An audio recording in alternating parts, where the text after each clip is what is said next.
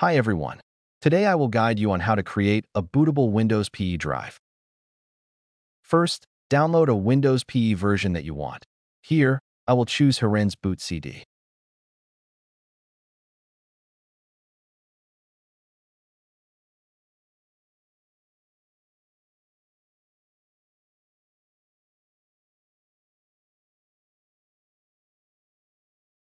Because I have already downloaded it, I will not download it again.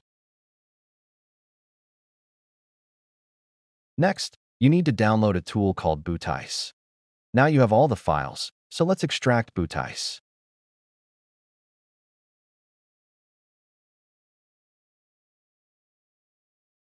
Now, right-click on the Windows icon and select Disk Management.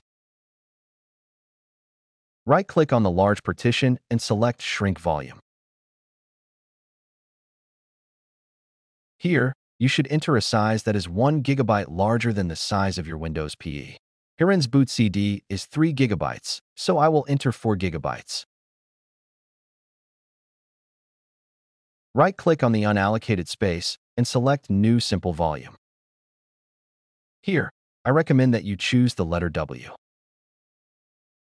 Here, you must set the file system to FAT32 and name it with the name of the WinPE. So, the partition to contain the WinPE file has been successfully created. Now, right-click on the WinPE ISO file and select Mount. Copy all the files from here into the W drive we just created.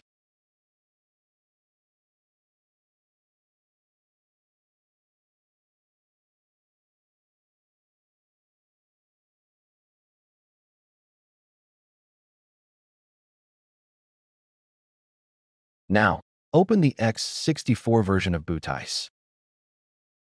Switch to the UEFI tab. Select Edit Boot Entries. Click Add. Select the bootx64.efi file inside the WinPE file you just copied to the W drive.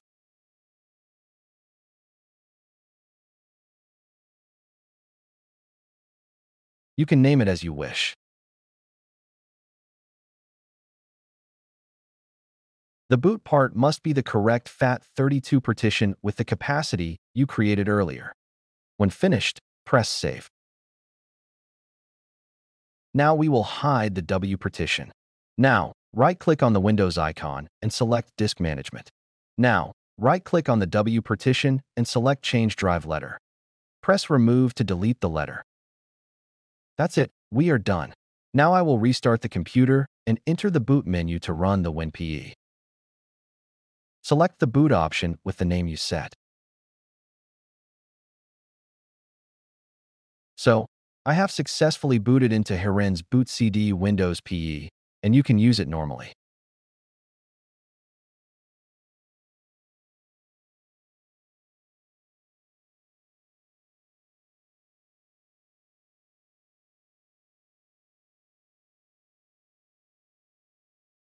Now I will restart the machine and let it boot into Windows. And we have successfully entered Windows.